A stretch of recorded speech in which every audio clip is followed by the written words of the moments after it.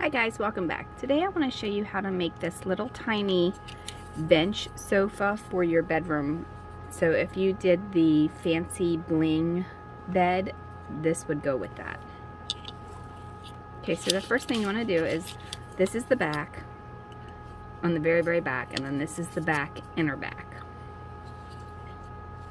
So this has holes in it and this does not. We want to set this one aside and then this one we want to go ahead and take this piece here that has like all these little weird notches in it and we want to go ahead and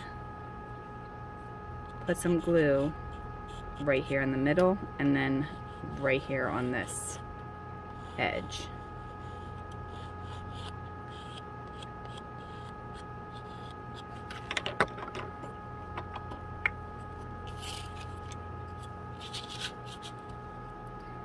And we're gonna stick that right in there. And we're gonna use our square tool to hold that straight. That way we know that we're getting a good and level seat.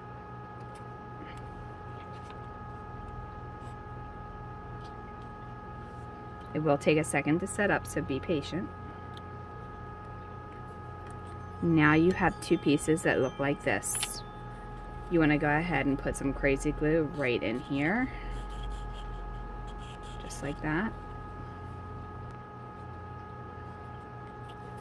And then you need to put some in here.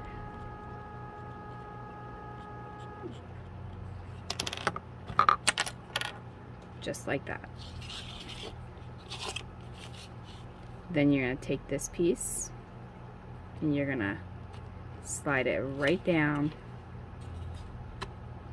in there and fit it in that spot. Again, use your square tool to make sure you have it in there nice and straight.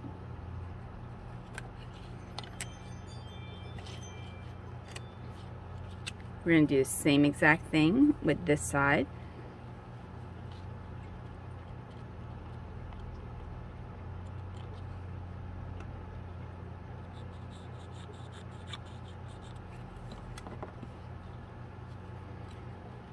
And then I'm kind of going in at an angle a little bit because it makes it easier. And then you want to go ahead and attach it just like that. Make sure you have it straight and you have it all the way in. Don't glue your fingers if you're using crazy glue. If you're using wood glue, it will take longer to set up. So you're going to have to use like a masking tape or something to hold it in place until after you get it completely set up. Okay, now you have this piece and you have this piece. This one has holes and a notch at the bottom. This one does not. We're to go ahead and put some crazy glue right on here. I like to use the crazy glue and sometimes the combination of both because it does set up a little bit quicker for me. However, if this is your first time doing a kit, you probably want to use wood glue because wood glue has a longer time for curing. Okay, now we're going to set this in here.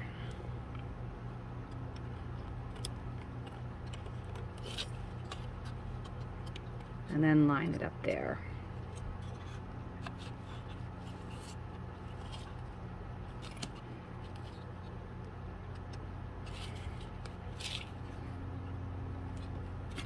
And that's what it should look like at this point.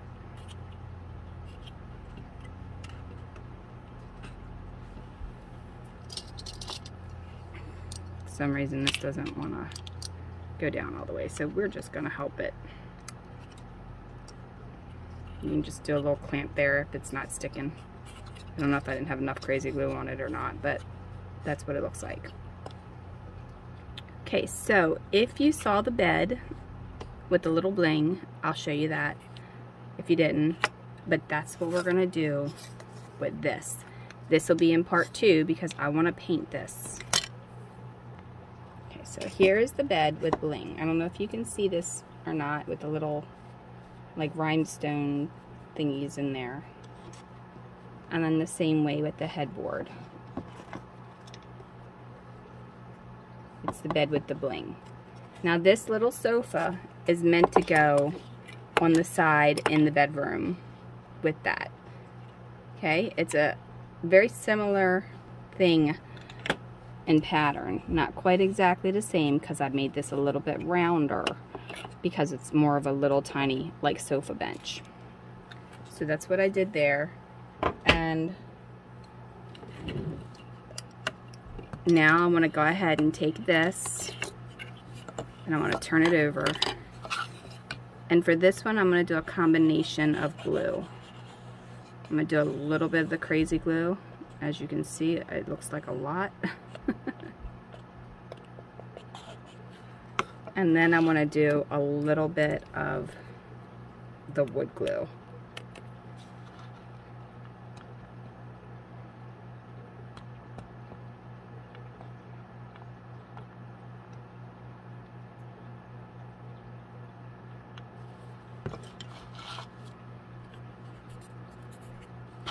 Now, I'm going to stand this up on a flat surface and I'm going to line these up the best that I can to make them even with one another.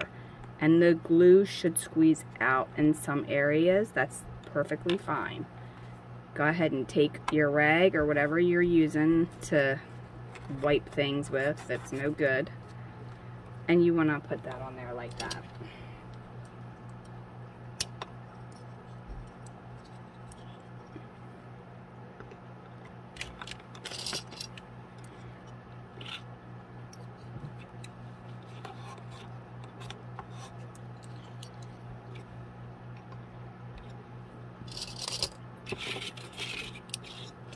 As you can see, as it squeezes it together, more comes out, and that's fine.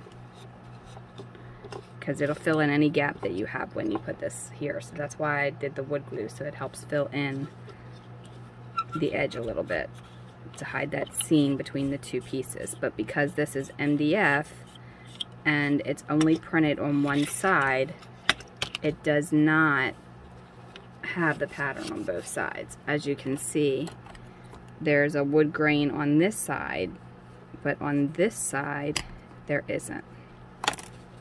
And because this pattern of this sofa is going to be unique, I did that in case you want to keep it with the wood without painting it. But because I did my bed in the white, I'm going to also do this in the white.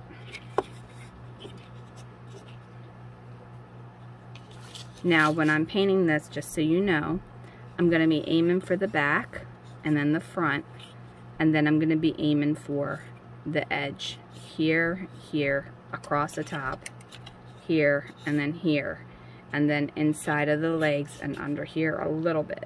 Not so much under here, but all of this will be covered in material and then the inside part of that will also be covered in material. And then I'm going to go ahead and put some glue on here.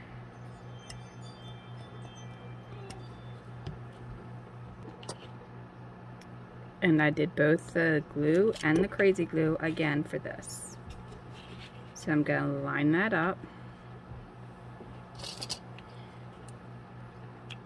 I'm going to take my clamps and I'm going to clamp it together.